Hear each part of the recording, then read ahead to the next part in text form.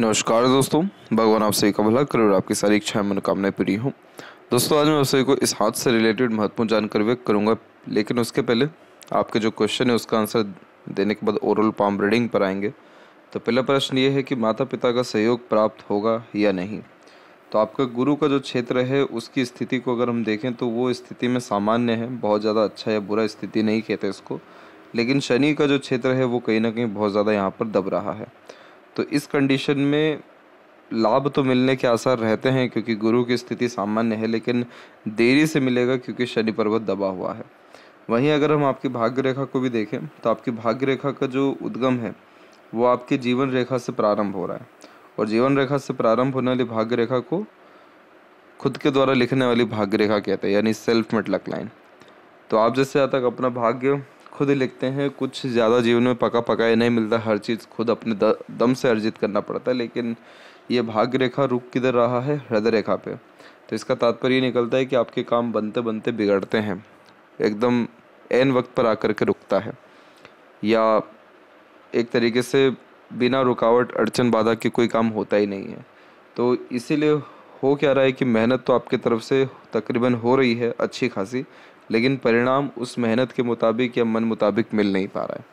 क्योंकि हृदय रेखा हमारे मन का कारक है और जब यहाँ पर हमारे भावना का भी कारक होता है और जब यहाँ पर भाग्य रेखा रुके तो कई मरतबा हम निर्णय सही नहीं ले पाते या निर्णय बहुत गलत लेते हैं या बहुत देरी से लेते हैं।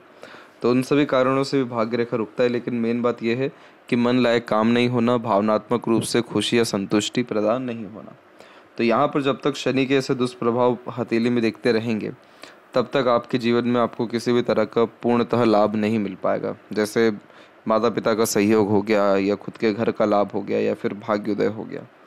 तो यहाँ पर आपको शनि का मेनली उपाय करना ज़रूरी है तब जाकर के आपको ये तीनों प्रकार की चीज़ों से लाभ निश्चित ही मिल पाएगा। उसके कंपेरिजन में सू, जो सूर्य की रेखा है वो भी आपकी हथेली में प्रबल है मज़बूत है तो ये सूर्य की रेखा व्यक्ति को निश्चित ही सफलता देती है, लेकिन संघर्ष के बाद देती है। नीचे की तरफ़ एक क्रॉस भी मौजूद है, जो कई मरतबा काम बनने नहीं देता, सफलता मिलने नहीं देता। जैसे किसी के लिए बहुत ज़्यादा ही मेहनत किया हो, लेकिन सामना अलग कदर ना करे। वैसे ही बहुत ज़्यादा मेहनत के बाद भी क्रेडिट नहीं मिलना। तो यहाँ पर थोड़ा पिता से भी बेचारे कनबन मतभेद की स्थिति हो रही है, लेकिन इन इन सब के अगर जड़ की हम बात करें तो यहाँ भाग्य रेखा ही है जो शनि तक पहुँच नहीं पा रहा है। शनि किसी भी काम के अंत का कारक है। किसी भी काम से जो हमको सेटिस्फेक्शन मिलता है, जो काम पूर्णतः यहाँ पर पूरा होता है, किसी भी काम से खुशी जब मिलती तो वो शनि के द्वारा ही प्रदान की जाती है। और शनि पर्वत तक जब अगर भाग्य रेखा नहीं पहुँचे, इसका सीधा मतलब है कि आपके सारे काम पेंडिंग हो जाते हैं। होल्ड पे आ जाते हैं। और ये सारी चीज़ें जीवन में क्या करती है? खुशी या संतुष्टि को ख़त्म करती है। तो अगर हम इसका उपाय करेंगे तो हमारे साथ होगा ये कि जितने भी काम रुके पड़े हैं या जितने भी अवसर जीवन में रुके हुए हैं, वो सारे के सारे अवसर भी प्राप्त होंगे, काम भी बनता हुआ आपको दिखाई देगा, जीवन में प्रगति भी बहुत अच्छे तरीके से और फटाफट होता हुआ आपको दिखाई देने लगेगा। तो सिर्फ़ इसके लिए जो सजेशन है, वो आपको व्हाट्सएप पर भेज दिया जाएगा। और दूसरी बात करें, घर का तो यहाँ जो मरकरी लाइन है वो डेवलप तो हुआ लेकिन बहुत आगे बढ़ नहीं पाया। और दूसरा अगर हम देखें तो मंगल की रेखा की स्थिति बिल्कुल ठीक जा रही है, यहाँ पर बढ़ रही है आगे। तो प्रॉपर्टी बनने के चांसेस वैसे अच्छे हैं, लेकिन यहाँ पर ये भी जो डिपेंड कर रहा है प्रॉपर्टी बनना, वो भी शनि पर ही डिपेंड जो है डिपेंड कर रहा है, क्योंकि जो शनि हैं, वो कंस्ट्रक्शंस के भी कारक हैं। तो यहाँ पर जब आप इसका रेमेडी करेंगे तो डेफिनेटली कंस्ट्रक्शन भी होगा, घर भी बनेगा, या अवसर जो है घर बनने के रिगार्डिंग आपको प्राप्त होगा। तीसरा जो प्रश्न है आपका कि भाग्योदय कब होने वाला है? तो यहाँ पर हम साफ़ साफ़ देख सकते हैं कि आपके भाग्य में कमी है ही नहीं, लेकिन भाग्य का जो परिणाम है उसमें बार बार कमी आ रहा है। तो यहाँ पर अगेन इन तीनों का सजेशन एक ही है कि शनि का उपाय करिए आप, और जब तक एक काम पूरा ना हो, तब तक दूसरा काम हाथ में मत लीजिए। अपना विज़न थोड़ा बड़ा रखिए, दूर का रखिए।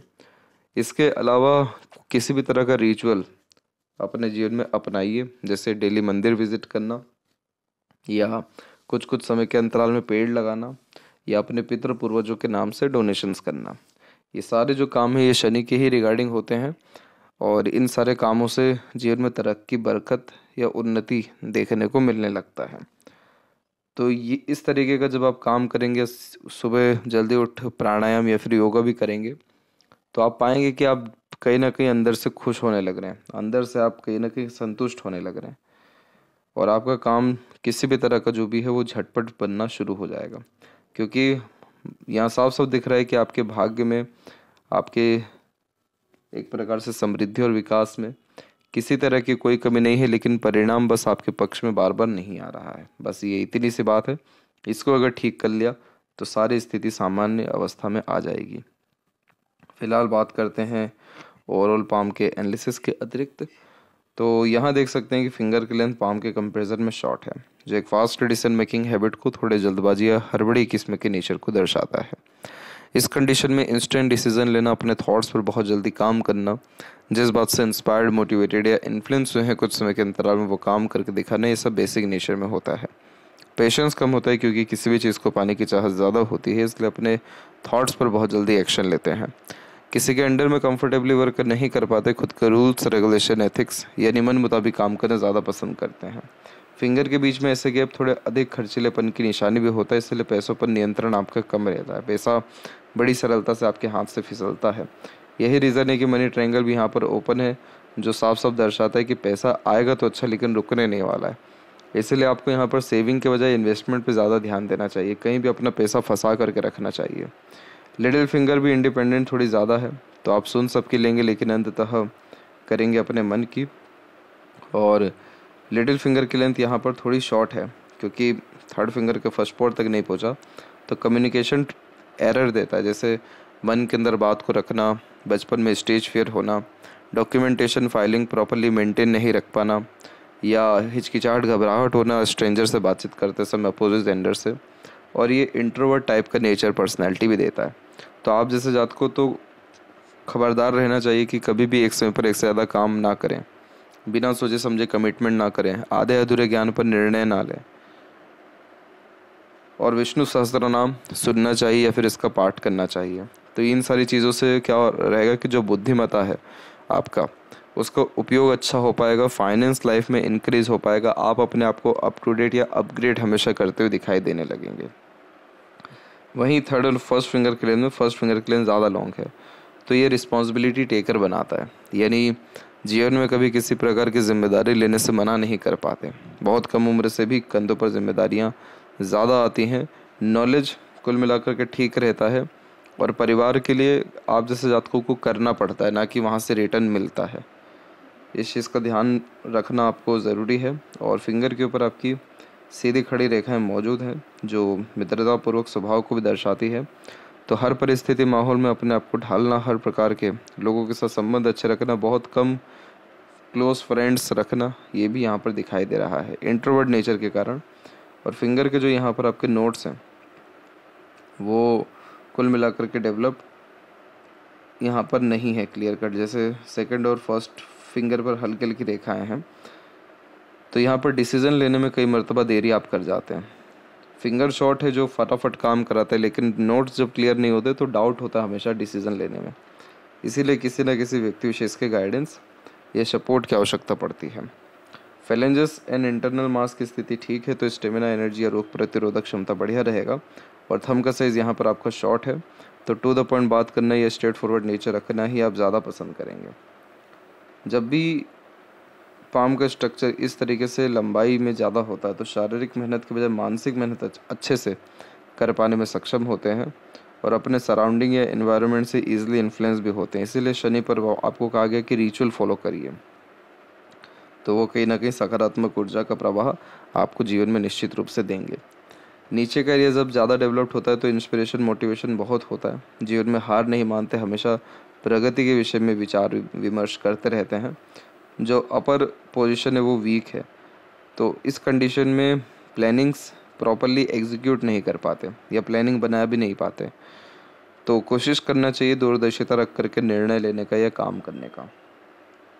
चंद्र का क्षेत्र अच्छा उभरा हुआ है तो जन्म स्थान से दूर जाकर तरक्की होना इम्पोर्ट एक्सपोर्ट के रिगार्डिंग काम से भी लाभ अच्छा मिल जाना, और खान पान इन सब के रिगार्डिंग अगर आप काम करते हैं या बिज़नेस करते हैं तो उन सबसे लाभ अच्छा मिलता है। शुक्र भी आपके विकसित अच्छे हैं तो जीवन में लग्जरीज कंफर्ट्स डेफिनेटली बढ़ना सुख सुविधा युक्त जीवन शैली होना और चिंता मुक्त जीवन शैली जीना। ये सारे कॉम्बिनेशन ये चंद्र, शुक्र दोनों मिलके बना रहे हैं।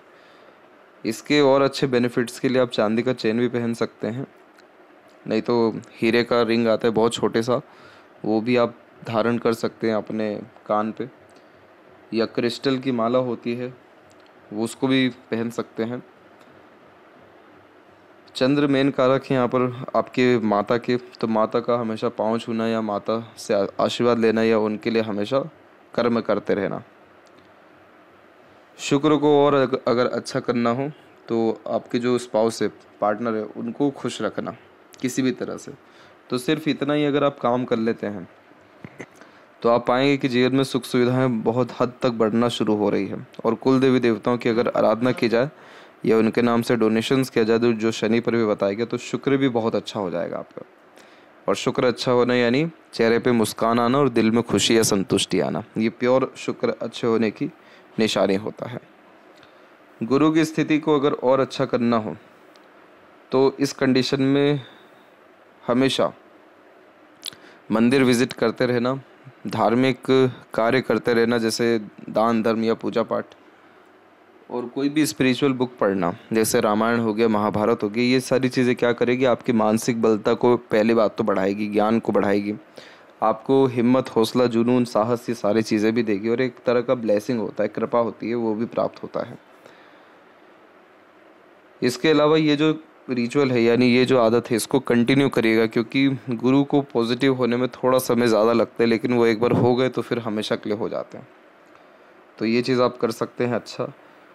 दूसरी बात, शनि को और अच्छा करने के लिए आप मेडिटेट कर सकते हैं, पूजा पाठ कर सकते हैं, जितना हो सके पैदल सफ़र कर सकते हैं या सुबह जल्दी उठ योगा प्राणायाम का सहारा ले सकते हैं।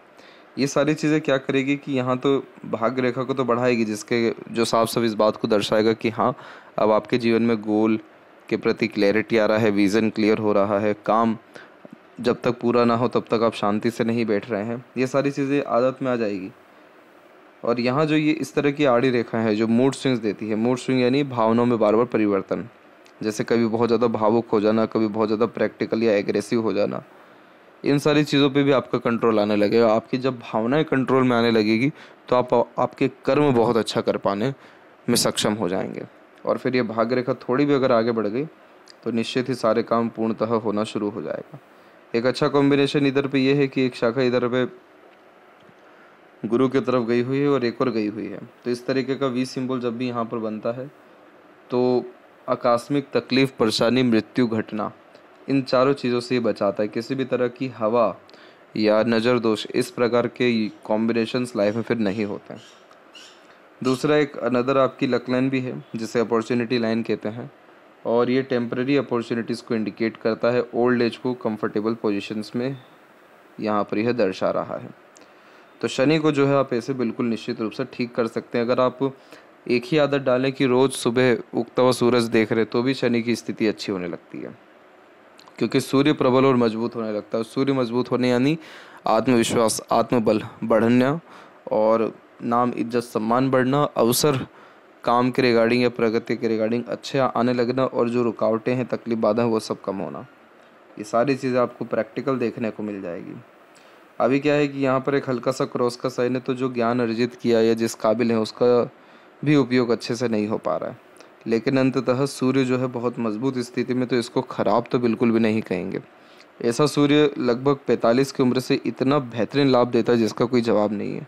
और लाभ देने का तात्पर्य ये कि सामाजिक स्तर पे नाम होना, सामाजिक रूप से जो है एक प्रकार से प्रबल व्यक्तित्व होने लगना, नाम, सम्मान, इज़्ज़त क्यों कमाना? क्योंकि काम में प्रगति होना। जितना भी जीवन भर संघर्ष किया है, उसका शुभ परिणाम अब जाके निकलना, ये सारे कॉम्बिनेशन आते हैं। और सूर्य की स्थिति अच्छी होती है तो कहीं भी बहुत ज़्यादा फिर नाम खराब नहीं होता। आपके तो स्टार्टिंग में क्रॉस है, इसीलिए कहीं ना कहीं लोग आपको जज करते हैं स्टार्टिंग में या फिर कहीं ना कहीं आप पे भरोसा नहीं कर पाते या फिर एक प्रकार से आपकी इज़्ज़त नहीं कर पाते। लेकिन बाद में आपका व्यक्तित्व देखने के कारण या एक प्रकार से आपका स्वभाव देखने के कारण, आपका काम देखने के कारण फिर वही लोग इज़्ज़त सम्मान भी देते हैं। अभी ऐसे लोगों की श्रृंखला जीवन में कम है, लेकिन आगे चल के बहुत बढ़ेगी आपकी, क्योंकि आप हर चीज़ अर्जित कर पाएँगे वेल्थ अच्छा क्रिएट कर पाएँगे, तमाम तरह का सुख सुविधाएँ अर्जित कर पाएँगे, दूसरों को लाभ किसी भी तरह से अच्छा दे पाएँगे तो क्यों नहीं होगा जीवन में बरकत और सुधार? तो सूर्य की स्थिति अंततः अच्छी है तो सारा का सारा जो कष्ट या अड़चन, बाधा, तकलीफ़ें उठाई, उन सब का लाभ आपको निश्चित ही मिलेगा। अगर ये सूर्य रेखा नहीं होती तो फिर ये कहना मुश्किल था कि जीवन में प्रगति या समृद्धि आपको आने भी वाली है, लेकिन ये है, इसीलिए हंड्रेड एंड वन परसेंट आपको आएगा।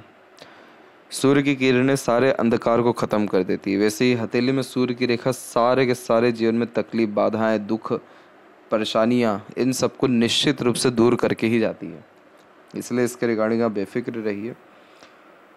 और मरकरी माउंट के ऊपर में जो ये इधर से आप रेखा एक देख रहे हैं, इधर से जो आ रही है, ये पितृ या पूर्वजों से लाभ ही दिलाती है तो आपको अंततः माता पिता से लाभ निश्चित ही मिलेगा। अभी तो क्या है कि क्रॉस का साइन है और शनि भी दूषित है तो इसलिए मिल नहीं पा रहा उतना ज़्यादा लाभ, लेकिन निश्चित ही आपको मिलेगा। क्योंकि इस प्रकार के जब भी कॉम्बिनेशन पाए जाते हैं तो अपने से बड़ों या बुज़ुर्गों के द्वारा कोई ना कोई लाभ मिलने के कारण प्रॉपर्टी डेफिनेटली क्रिएट होता है या फिर व्यापार में प्रगति होता है। तो अगर व्यापार नहीं मिल रहा है तो प्रॉपर्टी मिलता है। प्रॉपर्टी भी अगर नहीं मिल रहा है तो एक प्रकार से ब्लेसिंग्स यानी दुआएँ मिलती हैं। तो पितृ, पूर्वज या अपने से बड़े के गुजरने के बाद में उनकी जो दुआएँ जो लग रही हैं, उससे बहुत ज़्यादा प्रगति भी होता है। इसके अलावा यहाँ पर भी एक से अत्यधिक रेखा तो बोलचाल की कला में आप और ज़्यादा काम करिए। आगे से रह कर के लोगों से कम्युनिकेट करिए, मीठी बोली का उपयोग करिए कन्विंस करने की कोशिश करिए। तो ये सारी चीज़ें जब आप करेंगे तो आपका मरकरी और अच्छा होगा। और मरकरी अच्छा होना यानी वाक शक्ति मज़बूत होना। तो बहुत सारे काम सिर्फ़ बोल चाल या कॉन्टेक्ट्स के बलबूते पर होने लगना। ये चीज़ें आप निश्चित ही देख पाएँगे। हृदय रेखा में अगर हम देखें तो डबल लाइन एक साथ चल रही है। तो ये डबल लाइन एक साथ चलना ठीक नहीं होता है। पहली बात तो ये हृदय रेखा हमारी भावनाओं को दर्शाता है। दूसरी बात हमारे स्वास्थ्य को भी दर्शाता है। तो भावनाओं में बार बार परिवर्तन होना, जो चीज़ अच्छा लगना, वो चीज़ बुरा भी लगना, भावनाओं में बह जाना, भावनाओं में रह करके निर्णय लेना, यही तो रीज़न है कि आपकी भाग्य रेखा हृदय रेखा पे रही, आखिर रुक रही है, क्योंकि आपकी भावनाओं को कोई छत, आता पता नहीं है कौन सी बात अच्छी लग जाए, बुरी लग जाए, या किस भावनाओं में कब बह जाए।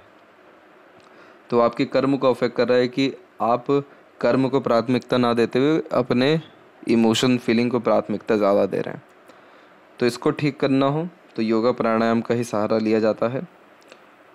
और किसी भी तरह की बात मन के अंदर फिर नहीं दबानी चाहिए, पूरी निकाल देनी चाहिए। इसके अलावा ये सीधे गया है, गुरु के ऊपर तो खाली बैठना भी पसंद नहीं करेंगे।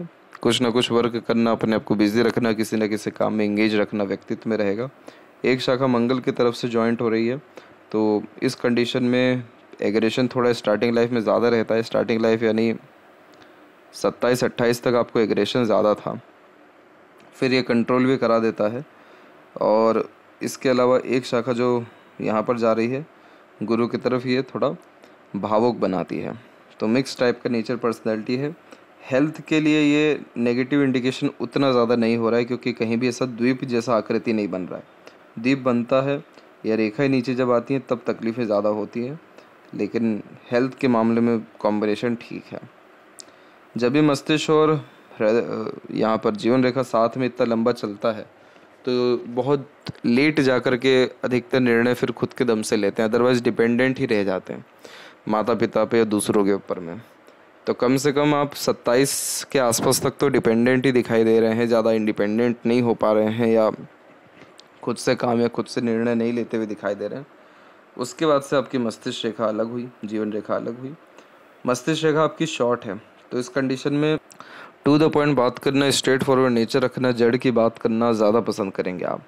आप जैसे जातकों को इससे मतलब नहीं होता कि प्रक्रिया क्या है। इससे मतलब होता है कि काम हो कैसे रहा है और काम कब हो रहा है।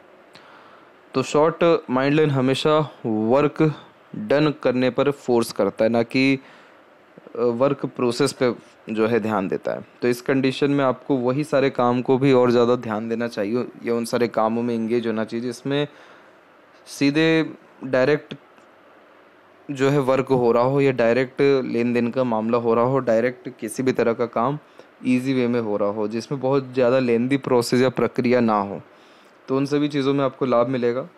और जीवन रेखा में एक अच्छी बात यह है कि आपके जीवन रेखा की रफ्तार बहुत अच्छी है। जीवन रेखा जब इस प्रकार से बहुत स्मूथली रन होता है तो एक तो लंबी आयु भी देता है और जब इसमें शुक्र का या केतु से ऐसे कनेक्शंस आते हैं तो लंबी आयु अच्छा स्वास्थ्य और अंततः संपन्न जीवन शैली होने का यू, युतीय देता है। अब जैसे बायफोर्ग का साइन है, क्या दर्शा रहा है? एक से ज़्यादा जगह पर आपका रेसिडेंस रहेगा।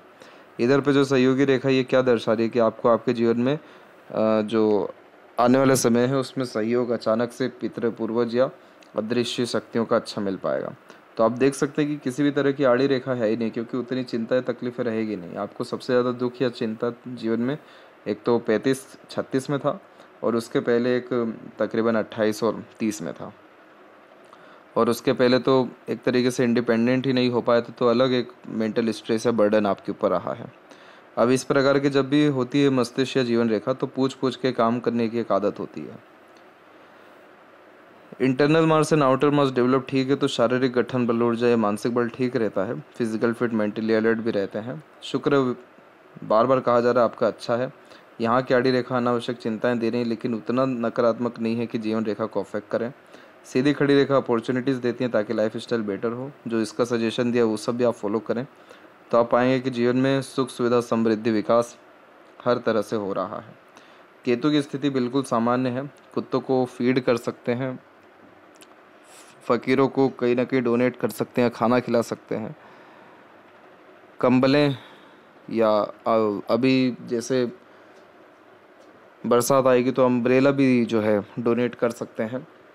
ये सारी चीज़ें भी शनि केतु को अच्छा रखती हैं। तो और किसी तरह का सडन गेन या प्रोग्रेस हो सकता है। चंद्र विकसित ठीक है तो सकारात्मक सोच रवैया रख जीवन में प्रगति निश्चित रूप से आप कर पाएँगे। और वहीं लेफ़्ट हैंड में भी देखें तो यहाँ पर भाग्य रेखा है, लेकिन इधर रुक रुक करके चल रहा है। और यहाँ मस्तिष्क रेखा लंबी है तो सीखने समझने की युति अच्छी रहेगी और मरकरी की तरफ़ आपका एक शाखा गया हुआ है। तो व्यापार से अंततः या कोई भी अपने खुद के काम से आपको लाभ के आसार अच्छे हैं। और इधर भी देख सकते हैं कि हृदय रेखा की एक शाखा है जो मूड स्विंग्स देती है। और इधर भी क्रॉस का साइन है सूर्य के ऊपर। तो आप शनि की स्थिति को ठीक कर लें, आपका सूर्य और सारी जो चीज़ें हैं ऑटोमेटिकली ठीक होगी। और जो एक बात कही गई कि जीवन रेखा की रफ्तार अच्छी है तो देख सकते हैं कितनी अच्छी तरीके से जा रही हो और जन्म स्थान से दूर रसने बसने की योग या धन या फिर उन्नति प्राप्त करने की योग भी दे रही है। तो आपका जो भाग्योदय है वो सब डिपेंड कहाँ पे कर रहा है? शनि के ऊपर। तो अगर आपने इस पे काम अभी से करना शुरू किया तो निश्चित ही इसी साल से या अगले साल से आपको जीवन में बहुत अधिक शुभ परिणाम आना शुरू हो जाएगा। तो आशा करता हूँ सभी प्रश्नों का उत्तर मिल गया हो। तब तक आप अपना ध्यान रखें। आपको बहुत बहुत धन्यवाद।